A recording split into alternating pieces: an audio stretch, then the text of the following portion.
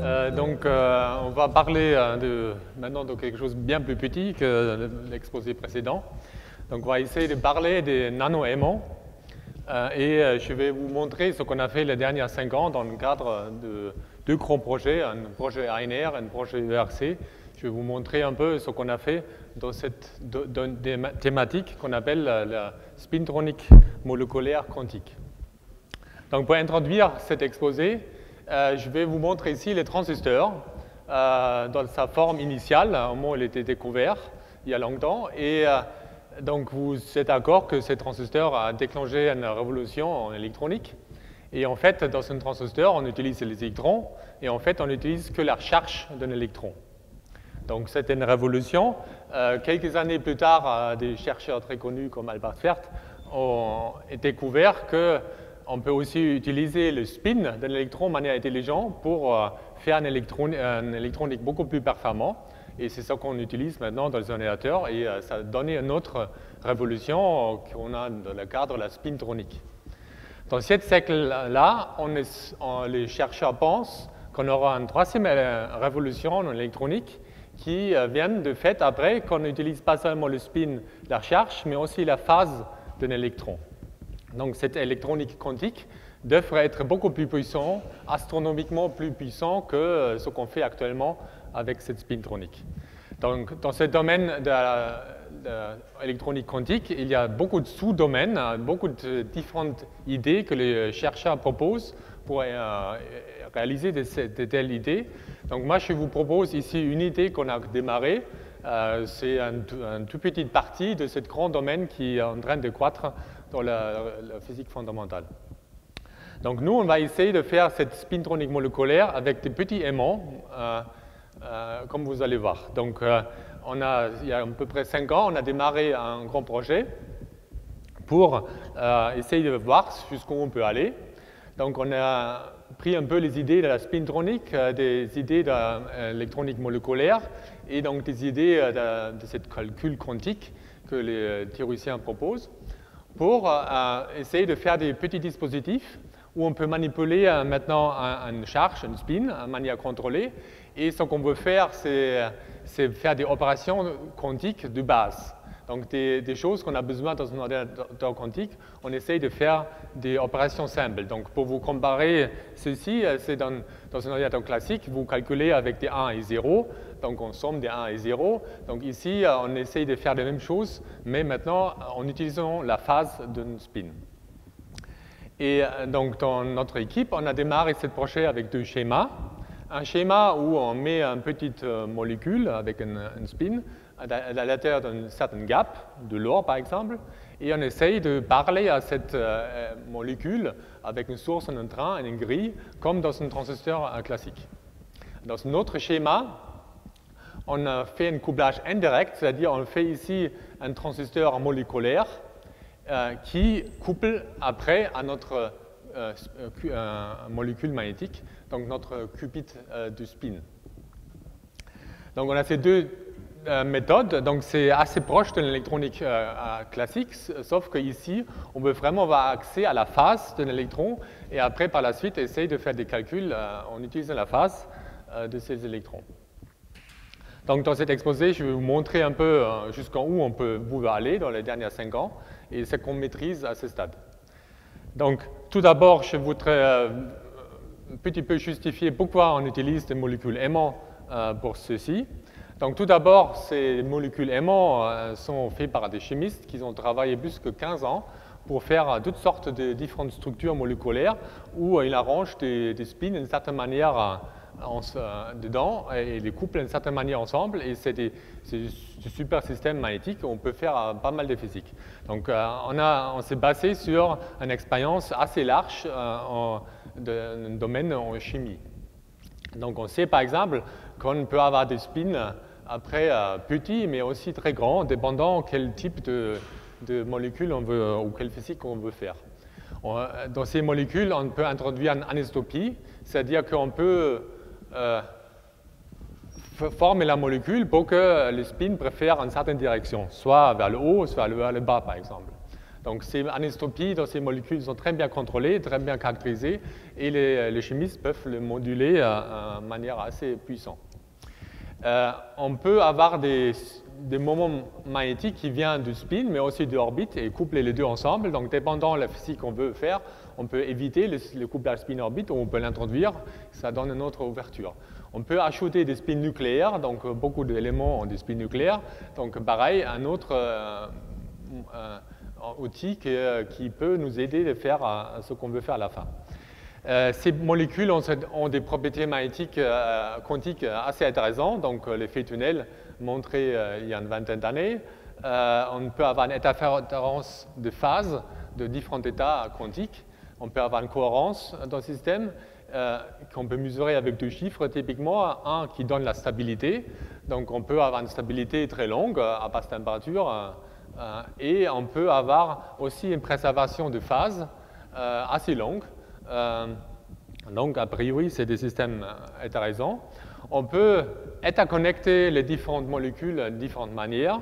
Donc, euh, les chimistes couplent ces molécules à travers des ligands et on peut, comme ça, atteindre ou, allumer un certain couplage, par exemple par, par un transfert d'électrons à l'intérieur d'une molécule. On peut coupler ou découpler des molécules. Donc euh, ça c'est pareil, hein, quelque chose qu'on a besoin plus tard. Et le dernier point que je veux euh, mentionner, que les chimistes euh, sont très performants pour préparer la molécule pour l'introduire dans un petit dispositif. C'est-à-dire que pour un certain cœur, c'est-à-dire une certaine propriété magnétique qu'on veut stabiliser, les chimistes peuvent fonctionnaliser les molécules avec des ligands. Par exemple, ça c'est les fameuses manganèse 12. on peut le fonctionnaliser avec des des molécules assez longues, dépendant de ce qu'on veut faire avec. Donc on va utiliser ça pour faire nos dispositifs. Donc, euh, donc toutes ces motivations nous ont poussé pour démarrer ces projets. Et euh, donc dans cet exposé, je veux résumer de manière très brève ce qu'on a fait euh, les dernières cinq ans. Et au lieu de faire ça trop avec des différentes idées trop schématiques, je veux focaliser sur trois différentes manips qu'on a fait pour vous montrer de manière concrète qu'est-ce qu'on sait faire à ce stade-là. Donc, euh, on va choisir une molécule avec une molécule assez simple. Donc, on ne va pas regarder toutes les différentes possibilités de molécules qu'on peut faire. On va prendre une molécule, on va les coincer une fois dans une électrode euh, de l'or, dans une petite jonction de l'or, pour passer un courant au travers. Et on va regarder un peu ce qu'on peut faire après avec cette molécule.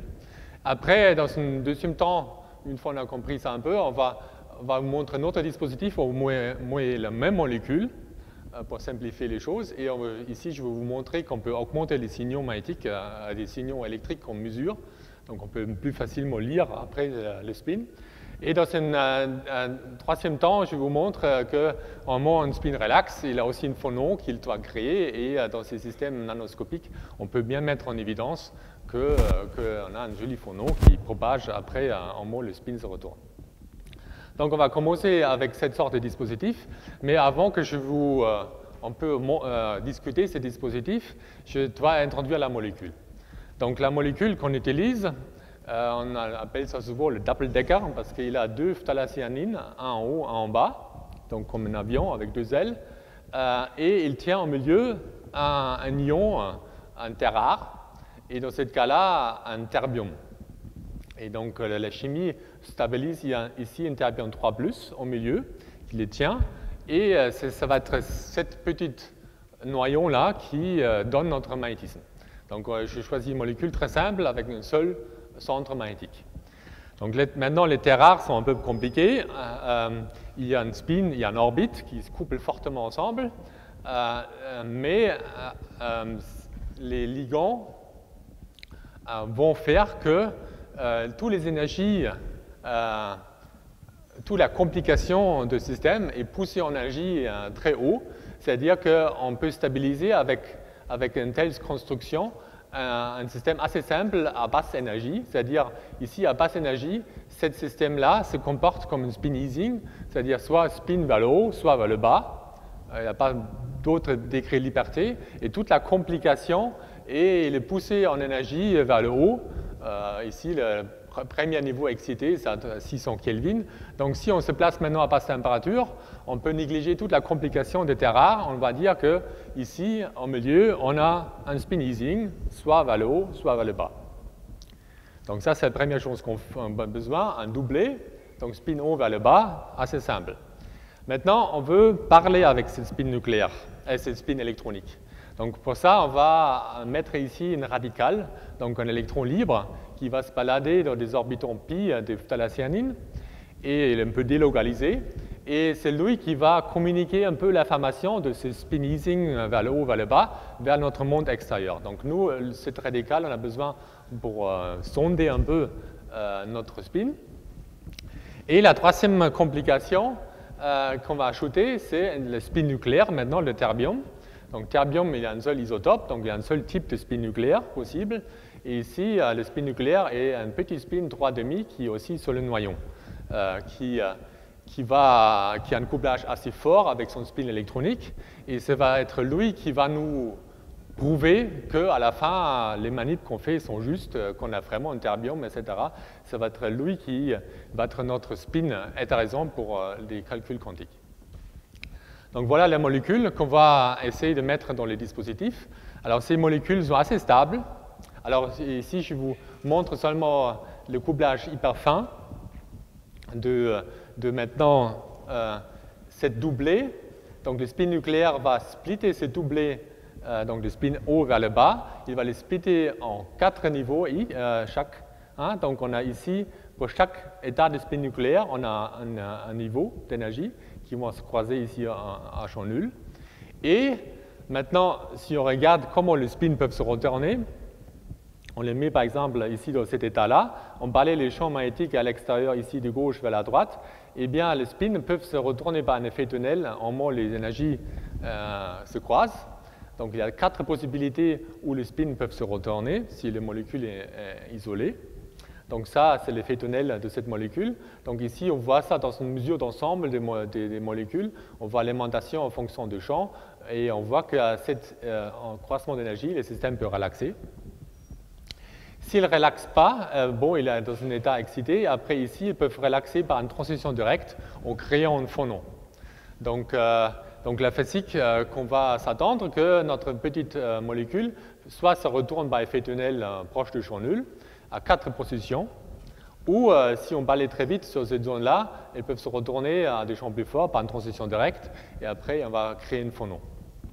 Donc ça, c'est la physique des molécules. On comprend cette physique assez détaillée depuis pas mal de temps. Je ne vais pas vous montrer au détail. Ça, c'est mesure son ensemble. Il y a d'autres possibilités de retourner le spin. Euh, ce qui n'est pas le cas dans une molécule individuelle, euh, comme dans cet exposé. Donc ces molécules sont très stables, c'est-à-dire qu'on peut le euh, mettre sur un filament et chauffer et évaporer ces molécules. Ils sont stables jusqu'à peu près 800 degrés. Donc on peut évaporer ces molécules sur notre dispositif si on le souhaite. On peut le mettre en solution, on fait une sorte de spray pour le déposer sur notre dispositif. Ou comme j'ai dit, euh, les chimistes peuvent nous euh, fonctionnaliser les molécules avec euh, des fonctions qui vont nous aider à accrocher sur de l'or, accrocher sur, sur du graphène, etc. Donc ça, c'est des, des, ligands qui aiment bien s'accrocher sur graphène. Donc si on veut mettre cette molécule sur un nanotube de carbone, par exemple, on va utiliser plutôt cette sorte de ligand. Donc a ces trois possibilités pour déposer les molécules sur notre dispositif. Donc euh, ici, en, gros, on, fabrique les dispositifs, on les met en solution, euh, les molécules s'accrochent. Euh, si on attend suffisamment long, on a après un nombre faible de molécules qui s'accrochent sur les molécules et sur le dispositif. Donc voilà, donc ça c'est la base maintenant qu'on a besoin pour discuter un peu des choses plus concrètes de ce qu'on sait faire à ce stade. Donc on va commencer avec ces dispositifs. Donc on va mettre cette molécule à, l'intérieur d'une petite gappe de l'or. Alors le principe c'est simple, on prend une molécule, on met des pinces de crocodile au-dessus, un source, un train, on envoie un courant travers et ce courant on modifie avec un gris. Euh, le problème bien sûr c'est que cet objet-là c'est un nanomètre, donc mettre un, des pinces de crocodile au-dessus pour envoyer le courant au travers, ce n'est pas si simple. Donc, euh, il y a différentes possibilités par exemple, mettre un STM, une pointe un STM, et essayer de zonder la molécule comme ça, mais avec un tel dispositif, on a du mal de mettre trois électrodes en même temps. On a le substrat, la pointe, et la troisième électrode, c'est difficile. Donc, on utilise une autre technique qu'on appelle la technique de l'électromigration. Donc, en gros, ce qu'on fait pour connecter la molécule, on fabrique ici une structure comme ça en or. Donc ça, c'est des sortes de doigts, des doigts en or qui, euh, qui sont très épais ici, qui euh, vont avoir une petite zone. Et dans cette petite zone, on a un tout petit film de l'or. Donc si on regarde cette zone ici, de haut, on voit ici cette image-là. On voit ici les doigts qui arrivent, donc les deux doigts en or, donc les sources d'un train qui arrive, et au-dessous, là, cette partie grise, c'est la couche fine de l'or. Donc on envoie un courant travers cette jonction. Si on envoie un courant suffisamment fort et pas trop fort, on va pousser des, atomes de l'or, ils vont migrer, ça s'appelle l'électromigration, ils vont migrer et ils vont former un gap assez contrôlé, si on le fait bien. Donc si vous pouvez voir, après on peut former une petite gap. C'est une technique qui été développée par différentes équipes avant et on a introduit euh, chez nous et ça, marche très bien pour offrir une petite gap. Une fois on a ouvert un petit gap, donc nanométrique, il faut mettre la molécule. Donc on a ces possibilités de l'évaporer au-dessus euh, ou euh, le, un spray au-dessus. Donc souvent on met des molécules avant et après on les diffuse dans la jonction. À basse température, on ouvre la jonction, on chauffe un petit peu, on refroidit et la molécule euh, se balade un peu et tout, il va dans la jonction. Une fois elle est dans la jonction, il faut caractériser le système donc je ne vais pas le dire en détail. En gros, ce qu'on fait, on envoie un courant à travers euh, ce qu'on a attrapé. Euh, et euh, si on mesure cette conductance de notre dispositif en fonction d'une source en train, tension source train, et la grille. Et on trace cette conductance en forme d'un crawler dans une, trace graphique de ce style-là. Donc ici, vous voyez en bleu, ça c'est une conductance très faible ou zéro. Donc euh, dans cette zone-là où c'est bleu, euh, c'est source train et gris, le système ne conduit pas. Au moment ça vient blanc ou rouge, il y a une conductance plus forte. Donc pour les spécialistes ici, dès qu'ils voient cette sorte, de diagramme, ils voient des diamants de Coulomb et on sait qu'à l'intérieur d'un diamant de Coulomb, euh, on a des charges fixes sur notre molécule.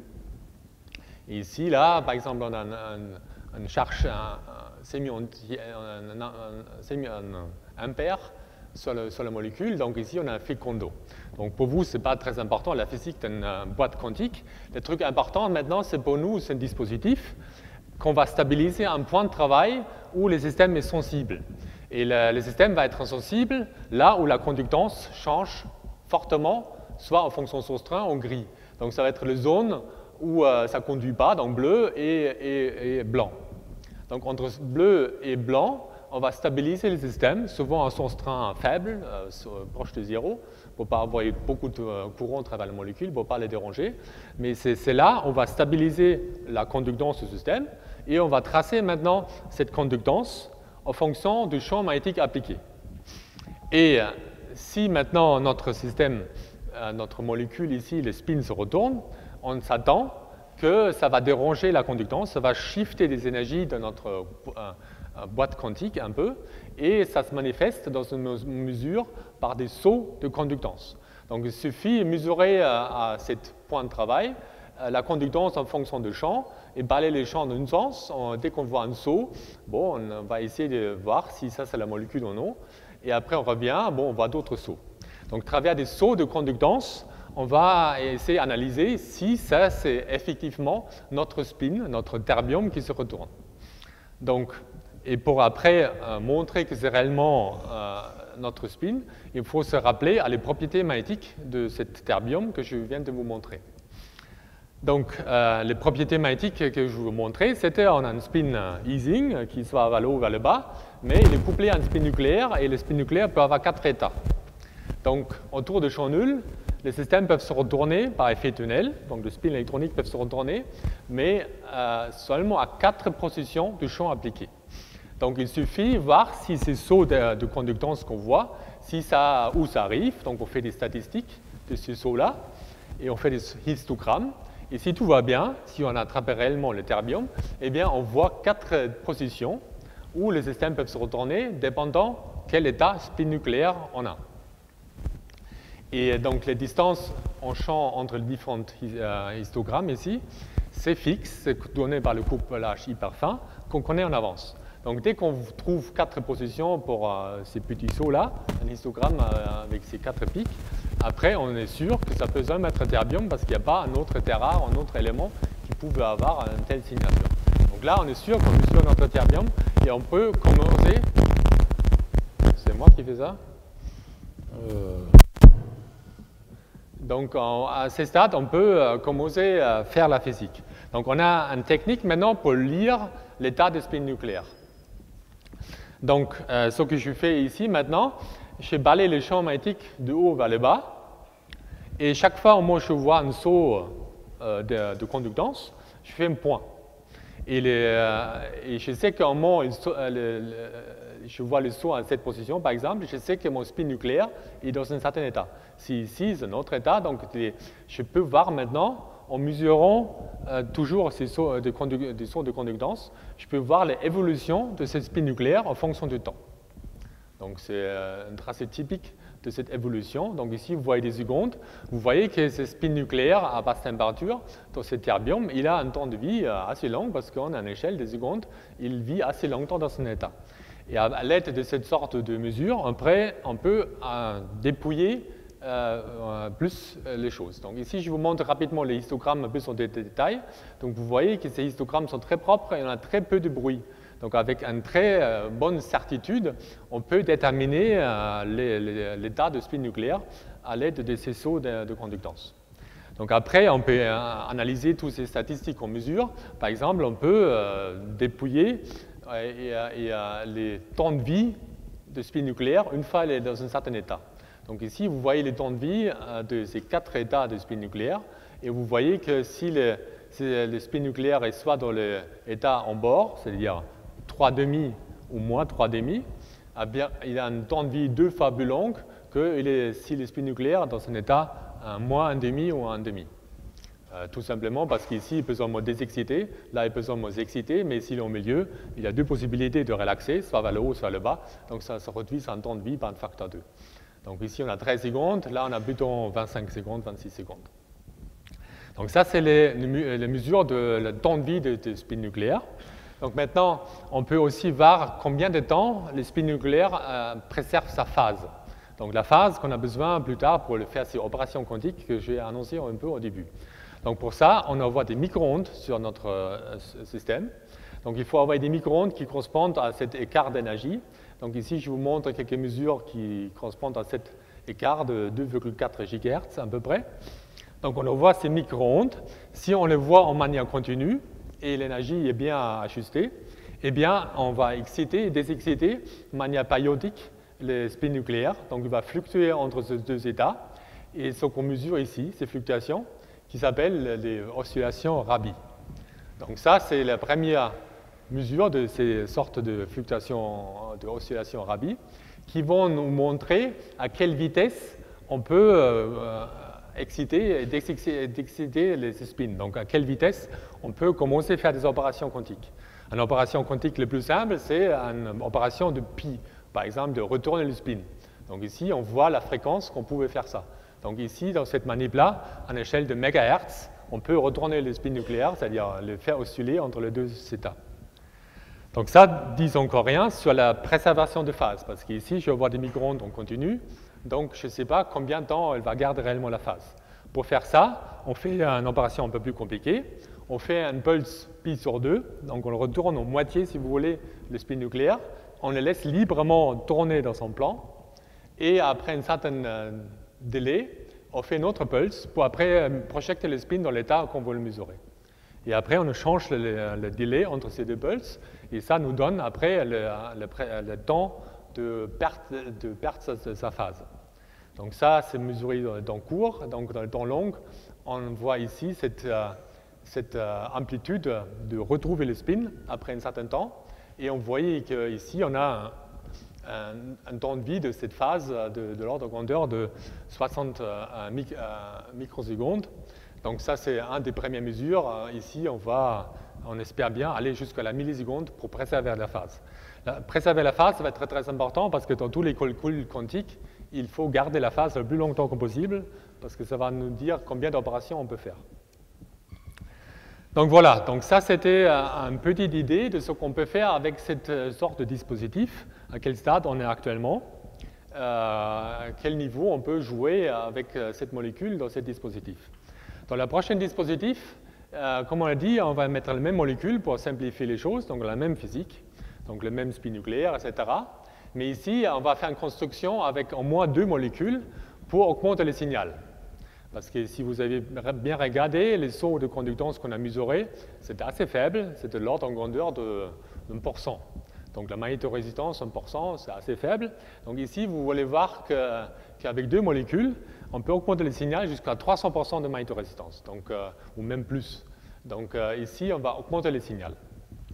Donc voilà, pour ce dispositif-là, il faut, euh, construire le dispositif d'abord. Donc il faut qu'on fasse un nanotube de carbone.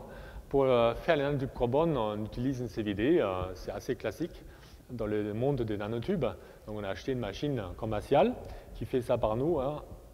Donc on a mis une sorte de catalyseur euh, dans une certaine température avec certains gaz et on peut croître comme ça des nanotubes. Donc ça c'est connu depuis pas mal d'années. Et donc en gros ça se ressemble comme ça chez nous. On fait une électrode de platine ici, ça c'est notre électrode de platine. Et sur cette euh, électrode-là, on met un paquet de catalyseurs. On le dépose par, euh, par lithographie électronique, un petit paquet de catalyseurs.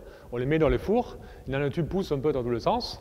Et si on a la chance, on un nanotube qui pousse euh, d'une électrode à l'autre. Donc, de, vu du côté, ça ressemble après comme ça, un nanotube qui, par chance, il est tombé sur le, sur le gap, et après, on a un dispositif. Donc ça a l'air un peu primitif, mais euh, comme on peut faire plein, plein de fonctions en parallèle, on fait la croissance en parallèle, on a très vite, euh, après une seule croissance, on a pas mal de dispositifs qui ont un nanotube euh, qui connectent, connectent de cette manière. Et très important, le nanotube est très très propre. Donc il est fait dans la dernière étape de lithographie. donc après cette croissance, il est là, on n'a plus rien touché. Donc il est très propre et on peut introduire notre molécule. Donc, euh, pour mettre les molécules, on utilise là souvent la solution. Donc, on met le système dans solution euh, avec euh, des ligands et on accroche comme ça des, molécules. Donc, après, une fois on a notre dispositif avec les molécules, on en sort en train, en gris. Et après, on fait à nouveau, comme avant, une mesure de conductance de ce dispositif. Et à nouveau, on fait une sorte de carte de conductance de source train gris et à nouveau, on voit des diamants de Coulomb. Donc, euh, si c'est bleu, ça ne conduit pas. Si c'est euh, blanc ou rouge, ça conduit euh, plus fort. À nouveau, on va choisir un point de travail qui, entre le bleu et le, blanc, là où la conductance change rapidement dès qu'on change un petit peu. Et on va tracer ça en fonction du champ, comme dans les dispositifs de transistors. Eh bien, si on fait ça maintenant, on regarde la conductance en fonction du champ, on voit des sauts beaucoup plus grands, et dans ce dispositif-là, il n'y avait un peu trop de molécules, donc on voit plein de sauts charge en nul. Et ici, on a des sauts assez grands. Mais euh, très vite, avec une caractérisation de cette manière-là en fonction de l'angle de champ appliqué, on peut distinguer des molécules individuelles. Donc pour faire ça, on trace la différence de conductance. Donc on prend la différence d'un balayage ici de gauche la droite et retour. On prend la différence, donc l'hystérésis de conductance. On trace ça en couleur. Dans une autre trace, ici, on a un champ suivant X et ici suivant Y. Donc, euh, cette courbe-là est par exemple à 30 degrés. Donc ça, c'est un, scan de ce sens-là. Donc si c'est rouge, la hystérésis est très grand. Et si ici, cette saut-là, par exemple, c'est un moment on passe de rouge à blanc. Donc euh, si ça, en fonction de l'angle, vous voyez que, euh, si j'applique mon champ suivant cette direction, ça devient plus plus dur. Et dans cette zone-là, c'est tellement dur que je n'arrive plus à avoir une hystérésis. Donc, je n'arrive plus à retourner mon spin. Donc, on trouve tout de suite que ça, c'est la direction, l'axe facile de notre terbium, qui consiste euh, généralement euh, orthogonal sur le nanotube. La molécule se euh, plaque souvent, se, pose en place sur le nanotube. Donc on trouve ici l'axe facile. Et donc ici, à cet endroit-là, on voit tout de suite que notre molécule se retourne. Et après, on peut à nouveau faire toute la physique que je, vais vous montrer sur les transistors euh, à cette molécule-là, le transistor de spin. Mais maintenant, on a des signaux beaucoup plus grands. Alors pourquoi on pense qu'on a des signaux plus grands? Dans des dispositifs plus propres, on n'a vraiment que deux molécules. On peut montrer que si on a une molécule, si euh, les molécules posées sur le nanotube, ils polarisent un peu les électrons au-dessous. Et euh, si on a deux molécules comme ça, si les deux molécules sont parallèles, le courant passe très facilement au travers. S'ils sont antiparallèles, après, le courant a plus de difficultés de passer à travers ces, deux dots euh, formés au-dessous de, la molécule. Et donc ici, euh, la conductance est beaucoup plus faible. Donc ça, on peut montrer euh, assez en détail. Par contre, pour vraiment calculer cette polarisation de la molécule sur la nanotube, c'est encore un challenge théorique pour calculer ça. Mais expérimentalement, ça marche euh, très bien et on a des signaux très grands dans cette sorte de dispositif. Donc maintenant, on va passer en troisième dispositif où on prend la même molécule, à nouveau un nanotube de carbone, mais maintenant, cette nanotube de carbone est suspendue comme je vous avais montré dans les premières images. Alors pourquoi on va suspendre un nanotube C'est parce qu'on euh, on veut un, système nanométrique ici qui a des modes de résonance discrets. Euh, parce qu'on veut montrer, mettre en évidence moment où le spin électronique se retourne, en fait, il y a un moment angulaire qui doit être préservé, sinon le système ne peut pas se retourner. Et ce moment angulaire doit passer quelque part. Dans un système 3D ou euh, sur une surface, euh, on sait qu'il y a plein de modes de phonos qui peuvent emporter les moments angulaires. Dès qu'on a les molécules suspendues ou dans le vide, et plus cet euh, continuum de phonos possible. Donc là, ça va être beaucoup plus difficile pour le spin de se retourner.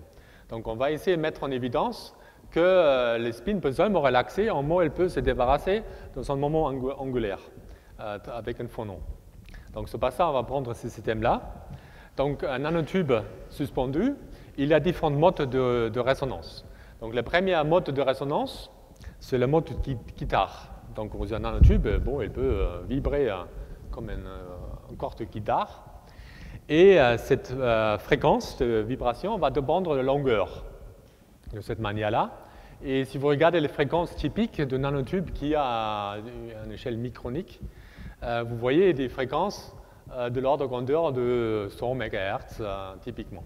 Donc ça, c'est des énergies tellement faibles qu'à non température, quand on regarde le système, ça, c'est le mode classique. Donc ce mode-là ne nous intéresse pas, c'est trop bas en énergie. Après, si on monte un peu en énergie, qu'est-ce que la prochaine mode de, résonance de nanotube de carbone? Eh bien, c'est une vibration le long du nanotube. Donc, euh, le nanotube peut vibrer dans son axe. Donc, ça, c'est euh, euh, beaucoup plus haut en énergie. Donc, l'énergie est plus haut que notre température. Donc, cette mode-là va être quantifiée à la température qu'on va mesurer le système. Euh, donc, ça, c'est l'ordre de grandeur de Kelvin, ou ici, euh, vous voyez, euh, de, une centaine de, gigahertz. Donc ça, c'est la bonne énergie. Si vous montez encore plus en énergie, la prochaine mode, c'est la mode de, de, respiration. Donc le nanotube peut augmenter, diminuer son diamètre. Donc ça, c'est encore plus en, haute en énergie. Donc lui est trop haut, donc nous, on s'en fiche. lui, on ne s'intéresse pas. Donc ça va être cette mode-là qui va être intéressant pour le coupler à notre spin électronique. Donc, euh, pour mettre en évidence maintenant que nanotube de carbone peut avoir cette euh, sorte de vibration, euh, les gens ont montré que par travers des mesures de transport, on peut exciter ces systèmes-là. Donc, je ne vais pas montrer ça en détail, mais à travers des mesures de conductance à nouveau en fonction de son strain en gris, on a certaines cartes avec des lignes ici, on a certaines relaxations possibles qui vont nous montrer que les nanotubes, effectivement, ils peuvent vibrer euh, le long de son axe. Donc, je ne veux pas insister. La partie importante que dans cette mesure-là, on va trouver l'énergie nécessaire qui, euh, qui, fait ces vibrations. Donc ici, là, dans ce euh, cas-là, on va trouver 1,5 Kelvin dans notre énergie de vibration. Donc, donc, on connaît notre système de, de phonons. Maintenant, notre système de spin, eh bien, vous avez déjà vu. Donc, on met euh, notre spin ici dans cet état-là, par exemple. On scanne très vite travers la zone où ils peuvent se retourner par effet tunnel. Donc, on est ici dans un état excité. Et maintenant, vous voyez que si j'augmente le champ, l'énergie augmente de plus en plus. Donc, en augmentant le champ, je peux accorder maintenant l'énergie nécessaire pour parler à notre résonateur euh, de phonon.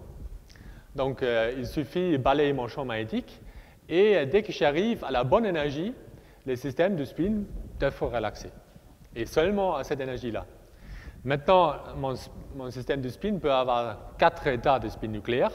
Donc vous voyez que dépendant dans quel état de spin nucléaire, soit elle relaxe ici, soit dans les autres euh, champs magnétiques.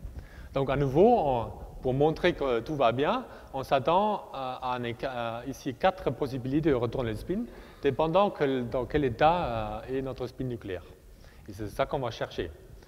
Donc, euh, il suffit à nouveau mesurer la conductance de notre dispositif à un bon point de travail et on voit du saut de, de, conductance et on répète cette manip plein de fois. Donc on s'attend de trouver quatre positions. Donc ici je vous montre ça un peu, le plus de plus de mesures. Donc si on regarde où ça saute, on, on construit comme ça notre histogramme. Et les positions de ces sauts-là doivent correspondre exactement à ce qui est prédit par euh, cette euh, théorie-là. Donc, euh, donc, on n'a pas de paramètres d'ajustement. Donc, dès qu'on a trouvé ces quatre sons, on était content. On a comme ça montré qu'effectivement, le spin peut seulement se retourner s'il peut se débarrasser de son fondant. Donc après, on peut intriquer ces deux systèmes, on peut faire d'autres jeux que je ne veux pas mentionner ici en détail. Donc, euh, dans cet exposé, j'essaie de vous montrer un peu euh, le stade de ce qu'on sait faire à ces stades dans ces, ces spintroniques moléculaires quantiques. Donc, on sait mettre des molécules à des positions assez contrôlées. Bon, c'est encore très expérimental, un peu, euh, un peu bricolé, mais on arrive de mettre une molécule à un bon endroit. On mesure le spin électronique et on montrait que travers son spin nucléaire, on peut montrer qu'on a réellement le dispositif qu'on prétend avoir, ce qui n'est pas si évident parce qu'une telle molécule, ça ne se voit pas si facilement. Euh, J'ai montré que dans des, systèmes plus euh, astucieux, on peut augmenter le signaux. Donc ici, on a fait une vanne de spin avec deux molécules. Euh, de cette image, on a trois, mais a priori, on a besoin que deux molécules pour faire une vanne de spin. Et à la fin, je vais vous montrer moment où le système se retourne, euh, il faut qu'il fasse des phonons. Et si le substrat ou le relaxe à des phonons de, très discrets, eh bien, les spins peuvent seulement se retourner moment où on met les deux en résonance. Donc, euh, donc ça, c'est le début euh, de ce qu'on a fait euh, dans ces domaines-là. Par la suite, on veut aller plus plus loin dans des opérations quantiques. Et pour les spécialistes, par exemple, on veut implémenter dans ce système l'algorithme de Grover. Donc, ça, c'est un des algorithmes que les théoriciens ont proposé pour tester ces sortes de, de calcul quantique. Donc on est là au-dessus. Je voudrais remercier les thésards et les postdocs qui ont travaillé depuis les dernières cinq ans sur ce domaine-là. Donc je vous mentionne ici. On a quelques permanents dans l'équipe, des théoriciens qui nous qui ont soutenus. On a beaucoup de chimistes qui travaillent avec nous euh, dans, les, dans, la globalité de ce domaine-là. Pour la spintronique moléculaire, je voulais mentionner en particulier ces quatre équipes. Et pour les molécules que je vous ai montrées, je vous ai montré une seule molécule, et celui-là est venu de Mario Ruben, qui travaille à Karlsruhe euh, et à Strasbourg. Donc, euh, je vous aussi fais euh, remercier à nouveau le RC qu'on a eu sur ce domaine-là, qui est maintenant fini, et un, joli contrat ANR. Et vous pour votre attention.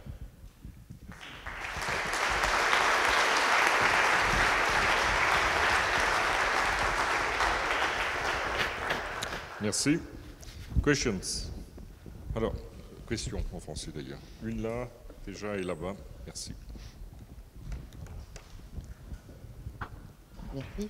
Euh, bonjour. Euh, donc, euh, c'est ce que vous avez montré là, les, molécules uniques surtout pour l'info quantique, ou pour la spintronique. Est-ce que vous pouvez commenter sur les durées de vie, les temps de cohérence et les effets limitants justement des taux de, temps de cohérence? Euh, donc, je n'ai pas bien compris. Je voulais que je commente sur les temps de cohérence. Sur les durées de vie euh, des systèmes ou les temps de cohérence des systèmes. Et qu'est-ce qui les limite Alors, qu'est-ce qui limite euh, les temps de vie, et la- en particulier le temps de vie de la phase du système C'est son couplage avec l'envi- l'environnement. Donc, un spin, par exemple, si j'ai un spin ici, et il y a autour un autre spin, ils peuvent se parler. Et euh, donc, dès que j'ai des importés, par exemple, autour, ou d'autres spins, ils peuvent créer une décohérence. Donc, au moment où ces spins relaxent, par exemple, euh, l'autre euh, peut se retourner dans l'autre sens. Donc, le temps de vie et la préservation de phase dépend essentiellement de l'environnement. Et pour un qubit de spin, c'est l'environnement magnétique qui est important. Donc, ça veut dire que c'est les autres spins qui sont autour. Donc, euh, c'est pas ça, si on a une structure qui est bien construite comme une molécule, où on connaît chaque élément autour de notre qubit de spin, euh, on connaît notre environnement. Donc, dans cette molécule que je choisis, j'ai choisi une molécule où on a construit l'environnement de manière propre. C'est-à-dire que les autres spins nucléaires qui étaient un peu dans la molécule euh, travaillaient, euh, ils, ils ont une autre fréquence où ils n'ont pas trop intervenu sur notre temps de vie. Donc on construit la molécule pour à la fin avoir euh, préservé la phase le plus longtemps possible. Mais euh, ce problème de préservation de phase, bien sûr, c'est le problème majeur si on veut pousser les idées euh, des calculs quantiques euh, très loin. Donc dès qu'on veut euh, coupler deux spins ensemble, on va arriver, trois peut-être, mais si on veut 10 puissance 4 spins couplés ensemble de manière cohérente, bien sûr, l'environnement va jouer beaucoup. Donc les- la manière que euh, l'environnement est construit va être, va être très important. Donc, euh, donc ça va être un, un challenge, un, un défi assez important euh, par la suite si on veut vraiment aller vers, le- vers ces calculs-là. On va prendre encore deux questions, mais ne quittez pas l'amphi. Dave Lollman veut faire une, une annonce. hein. Alors, l'autre, la prochaine question. Oui, c'est juste une petite question de compréhension due à l'acoustique de la salle peut-être.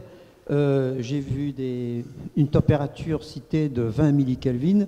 Euh, D'où ma question, à, quelle température travaillez-vous dans vos expériences? Est-ce que c'est à température ambiante Est-ce que ces 20 millikelvin vient ju- ju- juste de la formule KT pour un événement individuel, électronique? Voilà, c'est juste ça que je veux savoir. Donc la, température, c'est euh, une, euh, un argument qui, vient très vite en tête dès qu'on discute ce genre de choses. Euh, bien sûr, nos expériences qu'on fait, on fait ça très basse température parce qu'on ne veut pas que l'environnement nous gêne. Et donc on gèle le système, hein, donc on va proche de l'absolu zéro. hein. Donc ces manips ici sont, sont faits typiquement à 50 millikelvin, donc c'est bien froid. Maintenant, est-ce que c'est limité à ça, ce, ce type de recherche Non. Par exemple, euh, il y a d'autres euh, systèmes de spin concurrents un peu de ce qu'on fait nous. Par exemple, les, euh, centres NV dans les diamants.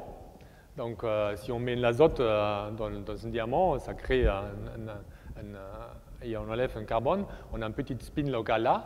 Et, euh, et, euh, dans ce cas-là, avec des euh, techniques optiques, euh, les gens font euh, des, ch- des choses similaires. Et ça, ils font ambiante. Donc, euh, ils peuvent avoir des phases aussi assez longues. Euh, donc, euh, dépendant les qubits de spin, on peut aller vers, vers l'ambiante. Mais est-ce que, de manière fondamentale, euh, refroidir le système, est-ce que c'est vraiment un, truc euh, difficile? Non.